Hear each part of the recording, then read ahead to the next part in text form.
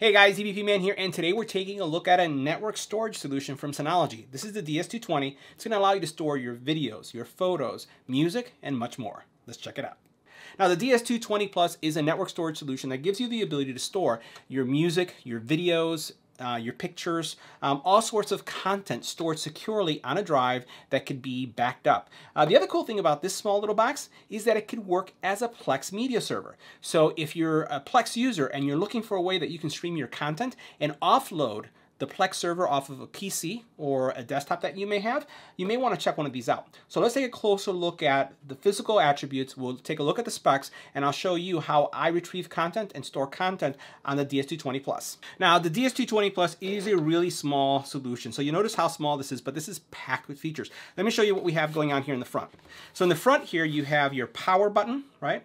You have the ability to connect any kind of media device into this little drive and automatically copy it once you've uh, inserted it. It has a software client that allows you to uh, configure how and what happens when you click or when you plug something into this uh, drive. So for example, I have this defined now so that it automatically goes to a specific folder and I change that folder every month as I'm updating my videos. Now your hard drives are stored here. So let me just show remove this for a second and I'll show you how this works. So here's where the drives are stored. And you can see here that I have a four terabyte file or drive. I have two drives here that are four terabyte each. So I have eight terabytes of storage. Um, you're not gonna really take these out and put these in often. I just wanted to show you how easy it is to remove it. Now on the back here, you have cooling, right? Because this does have a CPU, and we'll see those specs in a couple seconds. You have a gigabit connection here, and then you also have another USB port with the power connector. You do have, if you want to lock this down with a cable lock, you have that as well. At the very bottom, you do have some nice little rubberized feet that are going to allow you to store this. Now, what I do, this is so small, um, you know, some people put this like in a storage closet where they have all their cable management. I actually have it underneath my desk. It makes a lot of sense for me because I'm able to connect things and download directly to the drive using that USB connection. Now, the DS220 Plus performs really well in my network environment. Um, I use it to store all of my YouTube videos, to retrieve my YouTube videos, as well as to stream content, um, and content specifically from Plex. So as you take a look at the specs here, you'll notice that it has a, a CPU. So notice the CPU specs. Now the DS220 Plus now the DS220 Plus performs really well for my use case. And remember, I'm using it to store YouTube videos, to retrieve YouTube videos that I've recorded, uh, to stream content, all right, and that could be coming from Plex or from other media sources that I may have. And in order to do that, you'll have to check out the specs because they're quite impressive, especially for something so small. So it does have a CPU, as you can see here, and it has a 2-core, 2 gigahertz uh, CPU that has boost capabilities up to 2.9 gigahertz.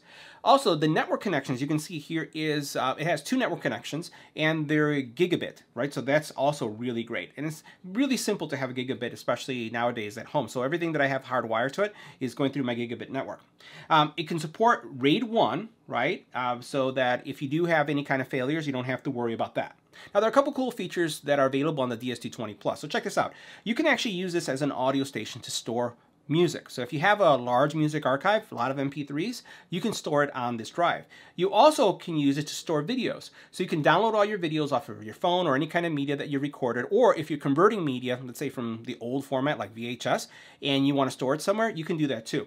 Uh, as the video station, and you can see here, uh, you can actually stream content. I personally use it for Plex and it performs really well. So you have a lot of flexibility when it comes to how you can use this. Now the first thing I'm going to show you is just the overall streaming experience. So here I have uh, my Synology DS220 and it's actually streaming or it's running my Plex server. Now Plex, depending on the subscription that you have, I have a lifetime su subscription. I've been a Plex user for many, many years.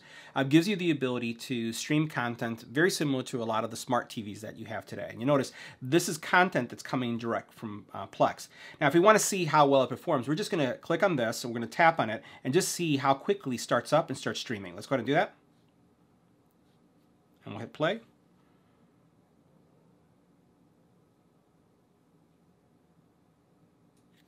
One more time.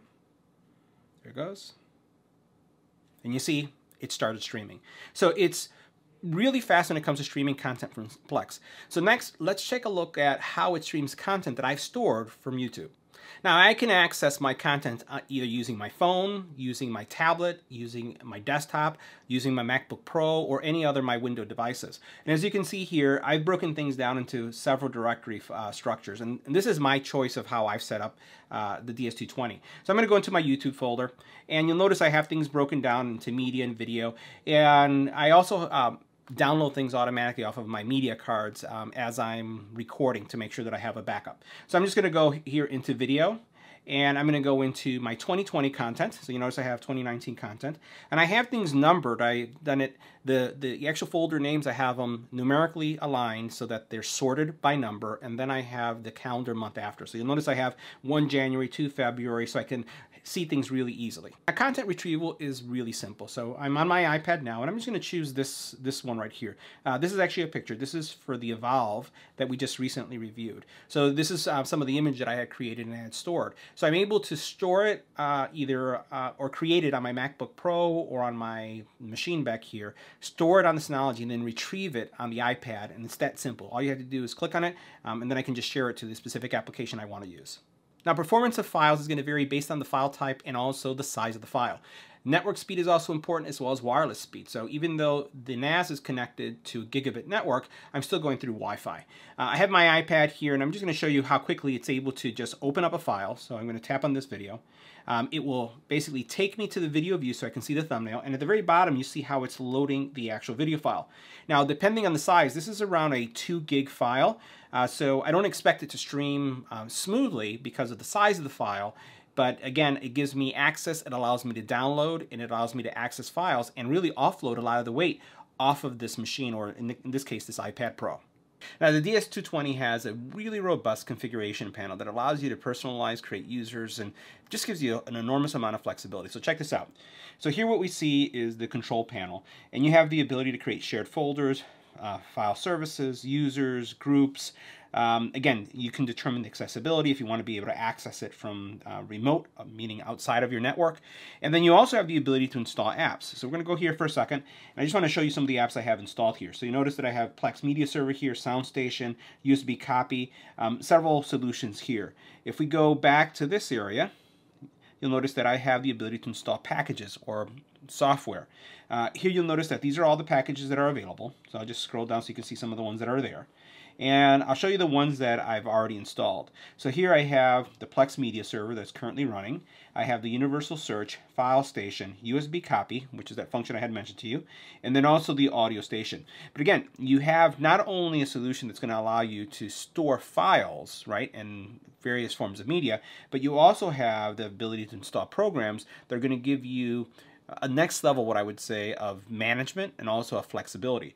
So a lot to do here, so much to learn. So if you're interested in picking up, um, you know, the Synology system, definitely it's something that I would recommend. Uh, my needs are a little bit simpler because it's just storing files and, and media and video. But if you're looking for something that's going to store all of your personal media and then also back it up to the cloud, because Synology also has a new solution that takes what you have in the DS220 or any of their Synology platform solutions and then will back it up to a cloud service as well. So lots of options there. Let me know what you think in the comment area below.